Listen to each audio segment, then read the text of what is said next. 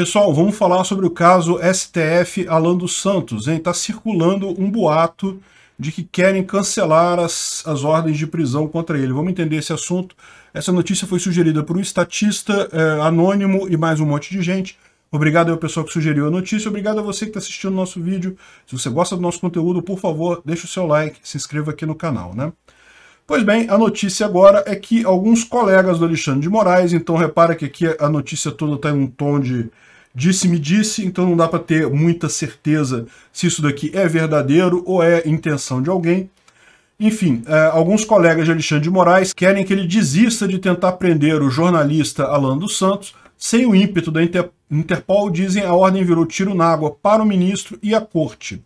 E, de fato, a ordem do Alexandre de Moraes de prisão do uh, Alan dos Santos mostrou o quão descolado da realidade está o STF. Qualquer aluno de direito de primeiro semestre sabe que foi um absurdo que esse processo do STF, inquérito das fake news, inquérito dos atos antidemocráticos, isso é uma coisa inconstitucional por definição, isso é um absurdo, uma teratologia jurídica completa. Não tem nenhuma lógica esses processos e, evidentemente, que isso está sendo visto como perseguição a pessoas, perseguição à opinião. Está mais do que claro isso para qualquer pessoa que enxerga isso daí. Só que aqui no Brasil fica aquela discussão, né? Quem é que decide se uma coisa é inconstitucional ou não? É o próprio STF. Então o próprio STF diz que é constitucional, uma coisa que claramente não é constitucional. Qualquer aluno de direito vê isso.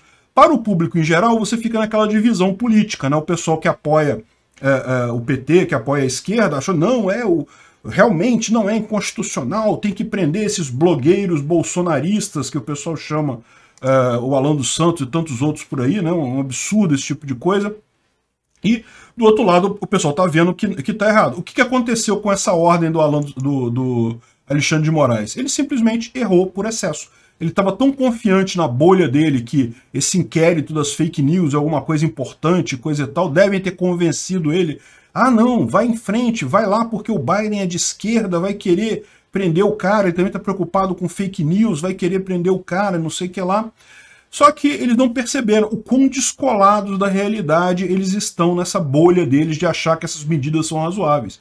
Não adianta, o, o, STF pode dizer 200 mil vezes que esses inquéritos são constitucionais, estão dentro do devido processo legal, porque não estão. Não tem lógica nenhuma, são iguaizinhos aos processos do DOI-CODE. Era exatamente o que se fazia na época da ditadura. Abria-se um inquérito com causas aleatórias e fica punindo as pessoas por medidas provisórias, por medidas cautelares.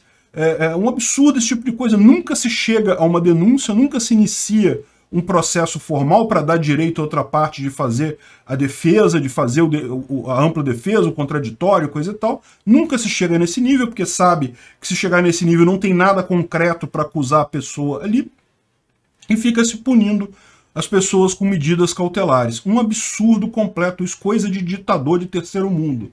Muito triste ver isso acontecendo no Brasil, né? É, e principalmente vindo do STF, que é quem, em tese, deveria fazer a proteção da Constituição. Então, ou seja, o fato da, do, da Interpol e do governo americano, porque não foi só a Interpol, não, o governo americano também barrou isso daí. Falou que não vai prender o cara, porque na cara é uma coisa muito óbvia. Qual que é o crime que ele, tá, que ele cometeu? Ah, não, que ele é, gerou fake news. Que fake news? Ah, não, tá lá no inquérito secreto que ninguém sabe. Pô, que, que história é essa, gente? Que, que loucura é essa? Estão prendendo o cara por opinião. É lógico que chegou lá fora, o pessoal que não está imerso nessa bolha é, da esquerda brasileira, que está lá o pessoal do STF, que está o pessoal da mídia também, essa minúscula bolha brasileira, porque não estão nem os brasileiros nessa bolha, tirando aí o pessoal que é radical de esquerda. O pessoal que não está nessa bolhazinha olhou para o negócio e falou, não, é claro que isso é um absurdo, isso aqui é perseguição política. Evidente que não vão fazer essa prisão, não tem lógica nenhuma isso. E aí ficou agora o Alexandre de Moraes com cara de tacho. Por quê? Ficou carimbado naquela testa enorme dele que vai até a nuca. Olha só, eu sou um ditador de merda que estou mandando prender pessoas por opinião. Tá carimbado naquilo ali. Todo mundo que olha para a cara dele vê o tamanho do carimbo que foi colocado pela Interpol naquela careca enorme dele. Então, no final das contas, o, o, o pessoal do STF tá falando, olha só, tá pegando mal pra gente, pô. Volta atrás aí, cancela esse troço, porque já tá muito feio isso e vai ficar cada vez mais feio porque todo mundo vai lembrar desse tipo de coisa na época da eleição. Vai falar, olha só, tá vendo aqui? Olha só, claramente é perseguição política. O juízo lá da, da Organização dos Estados Americanos, da OEA, e uh, também a Interpol e também o governo americano, todos eles olharam para esse processo e falaram: é, é um absurdo esse processo, não tem lógica nenhuma. E qualquer estudante de direito aqui no Brasil chega à mesma conclusão. Não precisa nem ter concluído o curso de direito para ver que não tem lógica esse tipo de processo. Não existe crime. É, é, muito engraçado, né? O pessoal falando, não, porque nos Estados Unidos não tem crime de opinião. Não, e nem no Brasil também não tem aqui. Então, como é que ele está tendo uma, uma ordem de prisão contra ele por uma coisa que não é crime? Não existe crime de fake news no Brasil.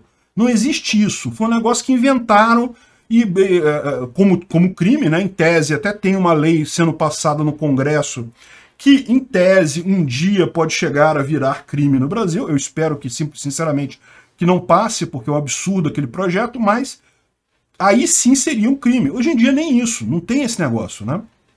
Não é só nos Estados Unidos que não tem, não. Aqui também não tem, o que torna a coisa toda ainda mais absurda, né?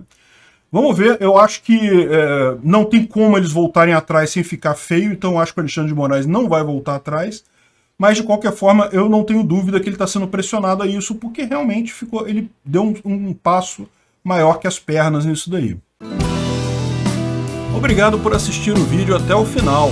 Além de curtir, compartilhar e se inscrever no canal, considere se tornar patrocinador com valores a partir de R$ 1,99 clique no botão Seja Membro abaixo para saber as condições e vantagens de patrocinar o canal. Mais informações sobre o nosso projeto, visite nossos sites indicados na tela.